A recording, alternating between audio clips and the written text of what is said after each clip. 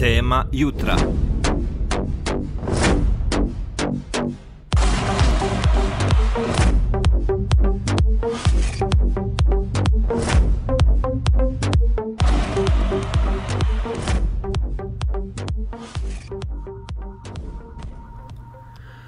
A sinoć je e, Zvezda u Beogradu nokautirala Olimpijakos u fantastičnoj završnici, bili su bolji drugo polovrijeme, što je bilo dovoljno da pobjede sa rezultatom 3-1. Kažu velika pobjeda Zvezde u Ligi šampiona, ali to nije tema našeg jutra ovoga jutra.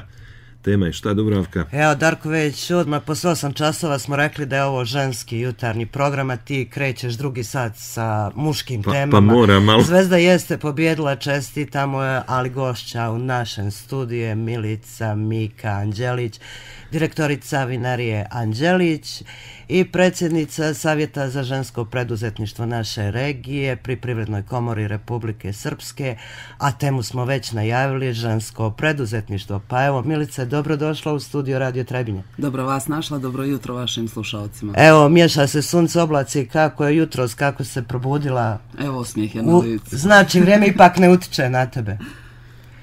Rekao smo, razgovaramo o ženskom preduzetništvu. Darko je počeo i stalno forsira jutros ove neke muške teme, ali je bio vrijedan. Naime, napravio je anketu sa trebinkama koliko su one spremne da budu preduzetnice. Ali koliko je anketa, znači sve su žene su sagovornice. ja sam rekla sa trebinkama, evo režija, molim vas da čujemo tu anketu, pa da onda je malo Milica prokomentariše. I evo tema ovoga jutra je žensko preduzetništvo. Mi pričamo sa našim sugrađanima o toj temi. E, dobar dan, šta vi mislite o ženskom preduzetništvu? Dobar dan. Pa mislim da je ok, da žene mogu biti jako uspješne i čak šta više da su uh, hrabrije od muškaraca. Podržavam to. A šta mislite, ko je sposobniji, žene ili muškarci u preduzetništvu? Pa i muškarci i žene, samo što mislim da su žene hrabrije. E, Recite mi, vi se bavite jednim vidom, pa eto da kažemo, biznisa privatnog. Jeste, tako je. Bavim se, od tog trenutno živim. Tako. Kako ste se odlučili na to? Je li bilo teško odlučiti se šta je za to potrebno? Je li samo novac ili... Pa nije neki ni veliki novac potreban. Potrebna je želja i volja. Da krenete nešto sami da radite i da živite od toga. Šta mislite o ženskom preduzetništvu? O, o ženskom preduzetništvu mislim sve najbolje. To je baš ok, super, sve. Pet. Mislite da su žene sposobne da pokrenu same biznis? Da, naravno da su sposobne. E, jeste vi možda bili u prilici da pokrenete neki biznis ili razmišljate o tome? Bila sam u prilici, ali sam prekinula sa, sa tim, jer sam počela nečim drugim da se bavim. Da li mislite da su žene uspješnije preduzetnici od muškaraca? Naravno da su uspješnije, da. A šta treba sve da bi se pokrenuo biznis? Evo vi ste bili u tom poslu, znači osim novca šta?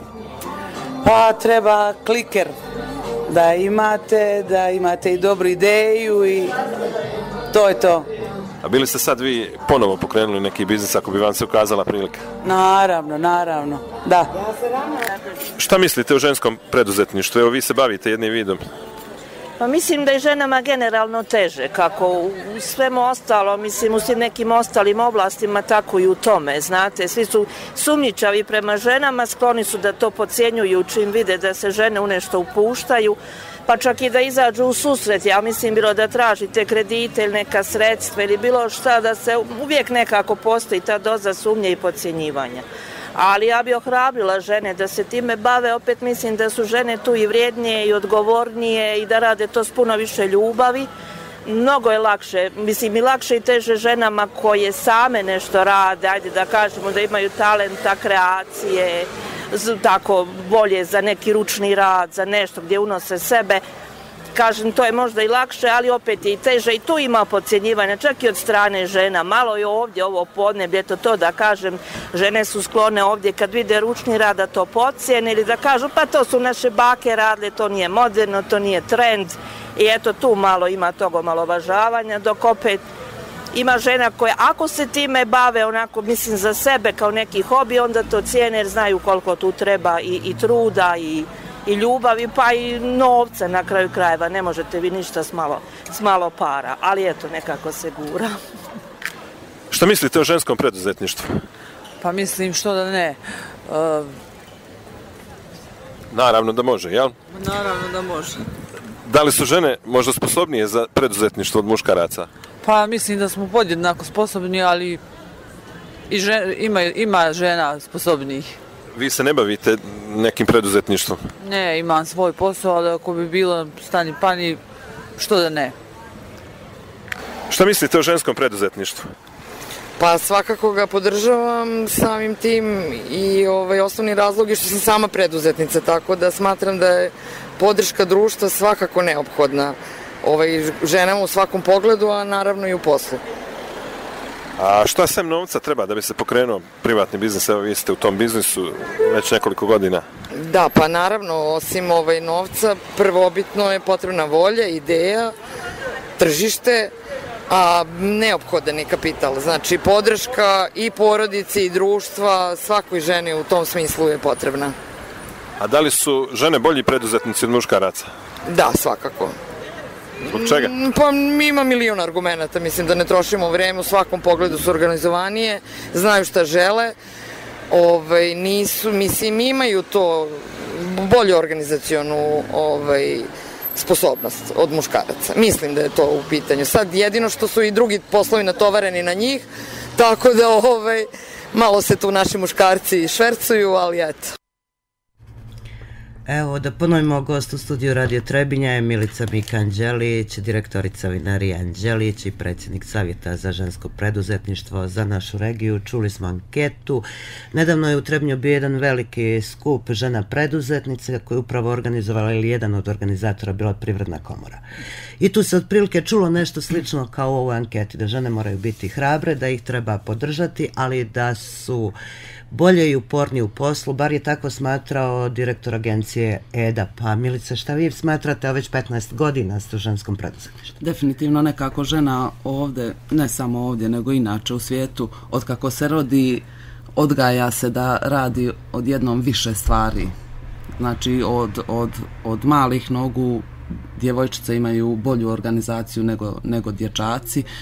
Ovaj, tako da smatram da žene i mogu da se istaknu u preduzetništvu kao pozitivni rukovodioci ili vlasnici nekih preduzeća.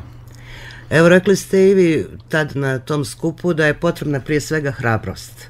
Kako ohrabriti žene koje vjerovatno imaju potencijal da krenu, da počnu nešto same raditi, naravno uz podršku porodice, društva i svih ostalih. Ja gledam u svome okruženju neke svoje prijateljice, poznanice, ovaj, imam osjećaj da su dosta onako uljuljane u nekom tom, eh, da kažem, kućnom komforu, tu su sa djecom, majke su domaćice, ne, ne, nekako se ne usuđuju da pokrenu svoj posao, da, da naprave taj korak naprijed. Naravno, ovaj, smatram da je podrška iz porodice iz kuće najbitnija za ženu, jer ipak eh, žena je 24 sata. Roditelj, e, veoma rijetko muškarci preuzimaju tu ulogu da, da budu ovaj baš da kažem alfa što se tiče kod odgoja djece, ovaj tako da smatram da je najpotrebnije da prvo nađu tu podršku u kući i da se ohrabre da krenu naprijed u neke da li privatne poslove ili nebitno Obično kažemo novac je problem, međutim on vjerovatno kod nekoga jeste problem, ali sigurno ga ne možemo smatrati jedinom poteškoćom. Mnogo je više poteškoća negdje u nama samima, u našim razmišljanjima, u okruženju najužem. Jel smatrate da je? Uh, novac jeste problem, definitivno.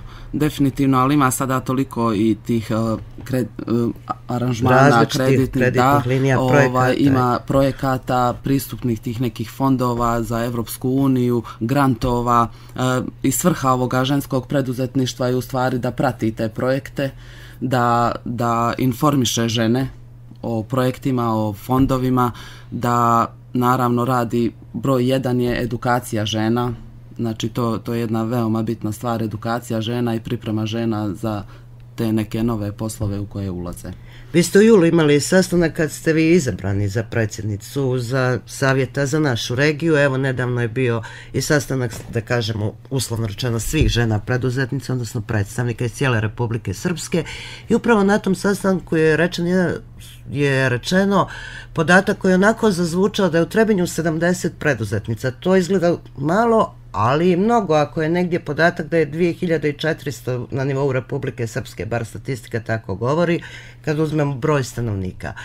Šta mislite, je li Trebinju malo preduzetnica do sada, naravno vaš posao jeste da dalje to njegujete, širite, razvijate?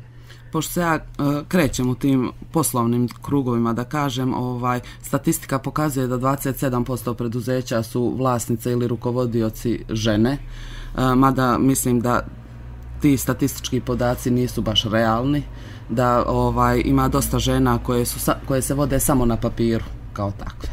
E tu je ovaj tu je taj neki naš problem što što žene o, nemaju hrabrost. Jednostavno ne usuđuju se, o, one će otići e, što se tiče preduzeća, one će otići i, i stavit će svoje ime na papir, ali nemaju hrabrost da, da se pokrenu u tome poslu. Evo, predlažem e, na ovom sastanku o kome pričamo, koji je na neki način bio i povod ovog razgovora u jutarnjem programu, je govorila i Dragana Kokot, vaša koleginica, tačnije predsjednica Savjeta iz Republike Srpske, Savjeta ženskog preduzetništva, pa da čujemo kratko i njenu izjavu.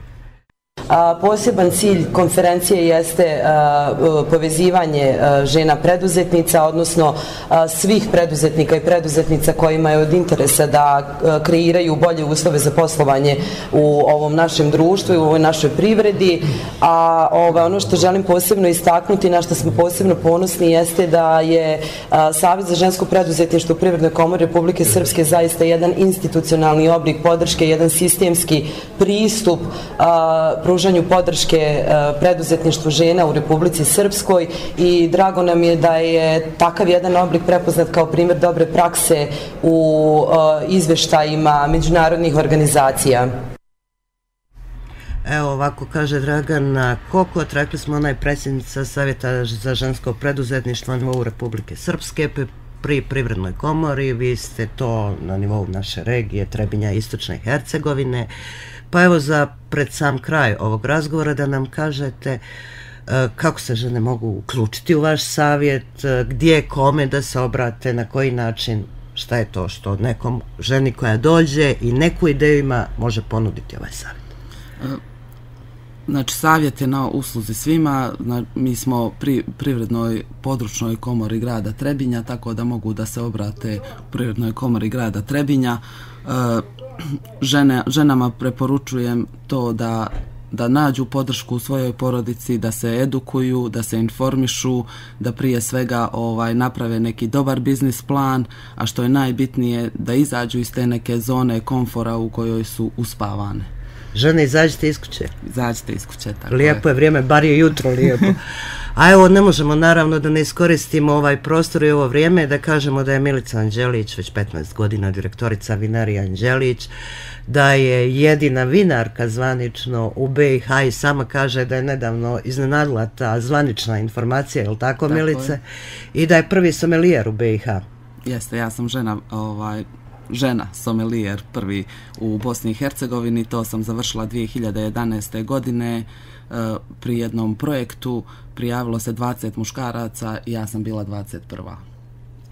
Eto, i to je lijep podatak i to je ohrabrenje ženama da, da se da nisu u muškom svijetu se mogu i kako dobro snaći. Tako, ako ne, stvarno ovaj, moje kolege vinari mene baš dobro paze ovako i poštuju me, mada to u startu nije bio slučaj, danas je to, znači ne osjećam se uopšte kao žena među njima, nego ravna njima kao njihov kolega. Ovo nije tema Vinari Anđelić, ali ćemo iskoristiti, pričamo o ženima, pa ćemo i ovo za kraj. Ima li Vinari Anđelić neko žensko vino? Sva su vina ženska. A evo somelijer ste pa da i to iskoristimo malo struke, to žensko vino, najženskije u vinari Anđelić, s čim biste ukombinovali? Kojom hranom? Žene kada, Šta preporučujete? Evo recimo za današnji ručak, za sutra, za neko onako... Žene najčešće ovaj, kada dođu kod nas na vinariju traže ta slatka vina, E, nažalost, Hercegovina nije tako podneblje, podneblje gdje može da se radi slatko vino. U svakom slučaju ja ženama preporučujem da piju ono što im se, što im se sviđa i što vole. A da jedu? Uz ta slatka vina. Šta stignu da skuhaju od posla. Eto, mi, Milica to vrlo jednostavno kaže, mi ćemo joj se zahvaliti na ovom gostovanju, a evo i ja ću, dvije su ipak žene u studiju, nećemo zaboraviti ni Darka, a, jedan je muškarac, bio je vrijedan, moramo ponoviti, napravio je anketu, znači učestvuje na neki način u našoj hrabrosti da napravimo ovaj prilog i tebi Darko hvala. I gabaritan sam ovako. Pa dobro, sad to slušalci ne vide, Ovaj, I tebi hvala, a Milice naravno hvala što ste bili gost, hvala što ste izdvojili ovo vrijeme i puno uspjeha u poslu, u privatnom životu. Hvala, hvala Milice, pa dođi nam opet. Hoće obavezno.